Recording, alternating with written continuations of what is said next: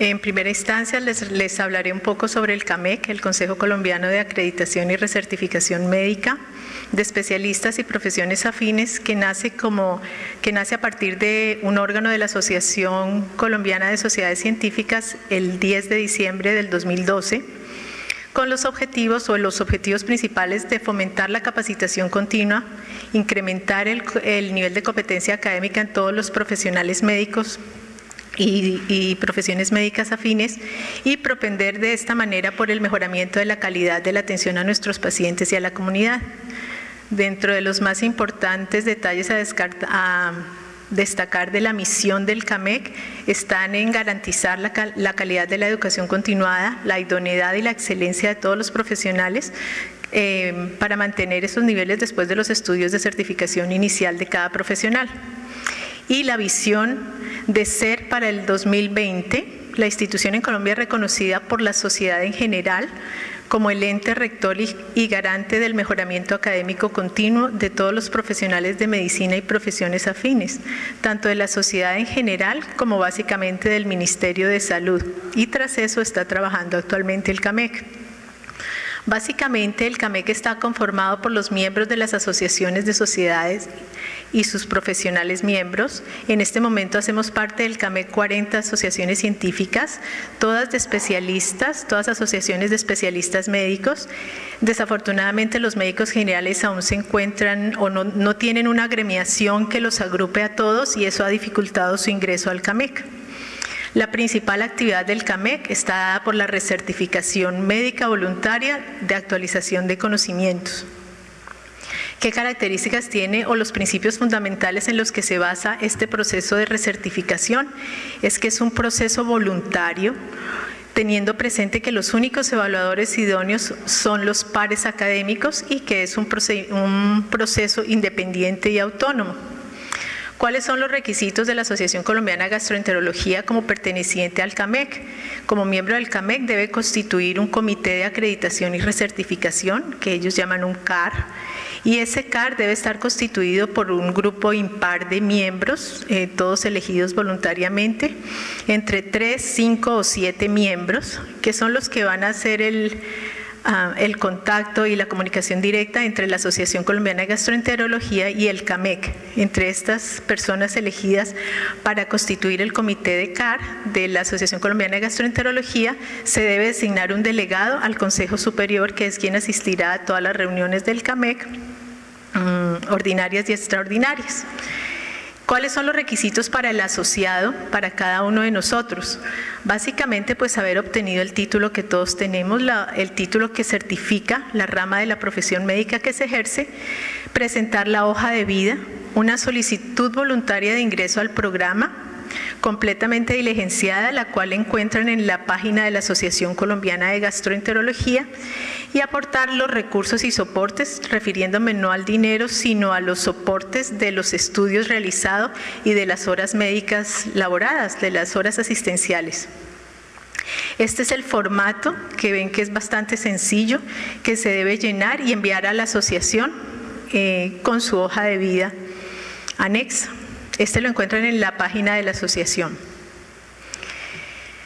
Eh, básicamente, ¿en qué consiste este programa de recertificación voluntaria? El asociado debe reunir mil puntos durante un periodo de cinco años. El título o la recertificación se da o se obtiene cada cinco años, aportando 500 puntos, el 50% mediante el ejercicio profesional y el otro 50%, 500 puntos en educación continua, desarrollo académico, instrucción o en el caso que sea necesario o determinado por suficiencia mediante exámenes o la combinación de todos los anteriores. El primer 50%, como me refería, es sobre el ejercicio profesional. Este ejercicio profesional se refiere obviamente a las actividades asistenciales que estén relacionadas con su título. No se deben tener en cuenta las actividades laborales diferentes a la profesión que se va a recertificar. Y la certificación laboral pues se da eh, por la empresa o por la EPS o entidad correspondiente donde el médico trabaja eh, en cuanto a las horas laborales certificadas. En cuanto al segundo 50% del puntaje requerido, la educación continua o desarrollo académico, eh, va a tener en cuenta todas las actividades científicas. Ustedes se van a dar cuenta, doy algunos ejemplos de los puntajes para vean lo fácil que es obtener los 500 puntos en un tiempo ah, amplio, que son los cinco años. Para dar algunos ejemplos, los congresos nacionales de la asociación como en el que estamos actualmente da un puntaje de 100 puntos, un congreso internacional un puntaje de 75 puntos, un curso local 40 puntos, un taller 50 puntos, eh, los congresos nacionales del, ay perdón, las reuniones científicas de las juntas directivas o de las asociaciones de las sociedades dan horas, eh, representadas por horas, dan puntos también. Todas las publicaciones, los puntajes van dependiendo del tipo de revista, de si la revista médica está indexada o sin indexación, si es nacional, internacional, el tipo de revistas y todo da un puntaje, o sea, tiene un puntaje muy exacto, hay unas tablas establecidas en donde todas las actividades científicas que podemos o que nosotros podemos tener van a ser tenidas en cuenta para los puntajes aquí están otras de las actividades que, tienen puntaje, editor o autor, editor de revista o miembro del comité editorial o autor de algún libro o autor de un capítulo de un libro, la redacción de comentarios o cartas al comité editorial de una revista, la participación en cursos, en conferencias, en mesas redondas,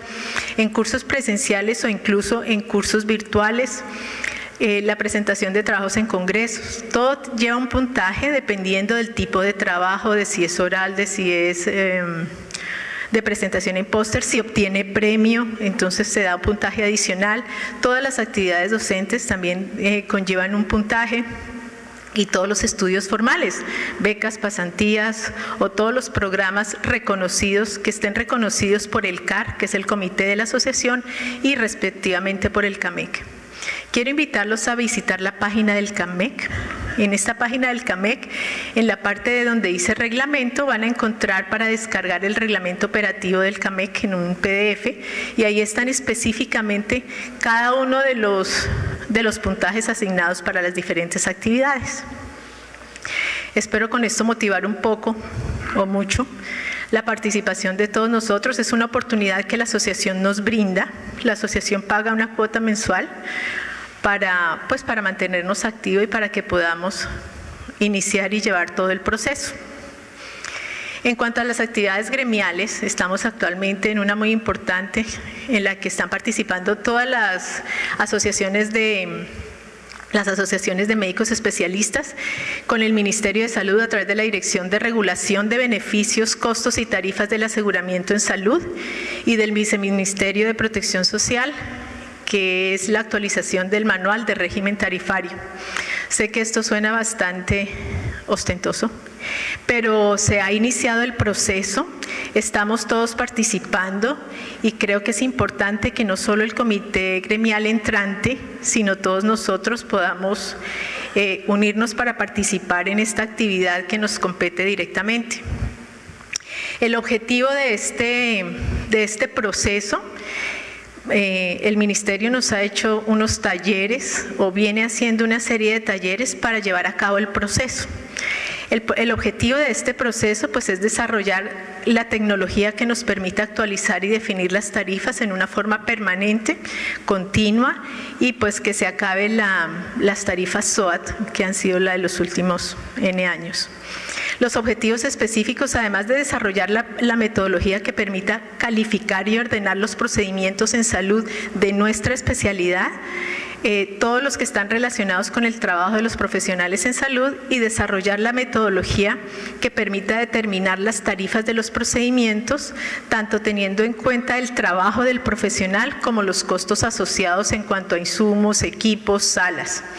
Esta metodología, para hacer algo corto, se basa inicialmente en el trabajo que se venía haciendo de los CUPS, de incluir todos los procedimientos en la, en en la CUPS y con base en eso, en la primera parte de este proceso que llevamos a cabo el año pasado, eh, se identificaron todos los procedimientos de la sociedad, se envió a partir de todos los que están con código CUPS, se envió este Excel, este archivo de Excel al Ministerio de Salud y se va a empezar o, ya iniciamos parcialmente el segundo paso en el que nos encontramos actualmente, que es la agrupación de procedimientos por afinidad. Esto quiere decir que se van a agrupar los procedimientos que tengan... Eh, que tengan una equivalencia similar, es decir, por ejemplo, los procedimientos endoscópicos en endoscopia, colonoscopia, colangiografía, endosonografía, fisiología. Cada uno de esos tipos de procedimientos afines van a conformar un grupo y cada uno de esos grupos va a, dentro de cada uno de esos grupos se va a escoger un procedimiento base o de referencia para cada grupo, con base en el cual primero se va a calificar ese procedimiento base y posteriormente se va a hacer la el, equiparable para los demás procedimientos asociados de cada grupo. Es un trabajo arduo, largo y como está señalado en la diapositiva, el paso 2, que es el que estamos llevando a cabo ahorita, es un trabajo que se va a hacer intrasociedades. Para cada grupo de procedimientos necesitamos cinco personas o cinco profesionales que tengan afinidad o que hagan ese tipo de procedimientos. Entonces, si hacemos las cuentas, tenemos en cuenta que más o menos mínimo necesitamos 25 gastroenterólogos eh, que empiecen a trabajar por los grupos de por los grupos de procedimientos para, para poder cumplir con los requisitos que existe el Ministerio de Salud. Dentro de cada grupo, o sea, los procedimientos de gastroenterología se van a dividir en grupos. Dentro de cada uno de estos grupos afines se va a conseguir, se va a se va a elegir un procedimiento base que va a ser la guía para determinar los, el valor o los porcentajes de valor de los demás procedimientos del mismo grupo. Este procedimiento base debe ser frecuente, debe ser común para la especialidad, debe ser de complejidad media, debe haber sido realizado al menos una vez por los participantes del grupo y como lo mencioné, el número de participantes mínimo es de cinco profesionales por cada grupo. La valoración del trabajo, como les mencioné, se van a tener en cuenta, digamos, para evaluar los procedimientos, dos puntos principales, la evaluación del trabajo de los profesionales y la evaluación de la parte de requisitos de ya de los insumos y de los equipos necesarios. En la parte de valoración del trabajo de los profesionales en salud se va a evaluar el tiempo, la habilidad técnica, el esfuerzo mental y el estrés. Esto requiere de unas tablas que han sido validadas internacionalmente y este trabajo igualmente se va a realizar dentro de la segunda fase, inicialmente solo para los procedimientos base de cada, de cada grupo. Bueno, no sé mucho de economía ni de fórmulas, pero me parece importante hacerles llegar a ustedes la forma como, como el Ministerio definió el cálculo de la tarifa basado en las unidades adaptado para Colombia. Si ustedes ven en la diapositiva, la tarifa es el producto del trabajo del profesional de la salud, teniendo en cuenta los cuatro factores que mencioné inicialmente, el tiempo, la habilidad técnica, el esfuerzo mental y el estrés, un factor de conversión y por otro lado los costos, que es todo lo que es la infraestructura, los equipos, los materiales, los insumos necesarios para ese procedimiento.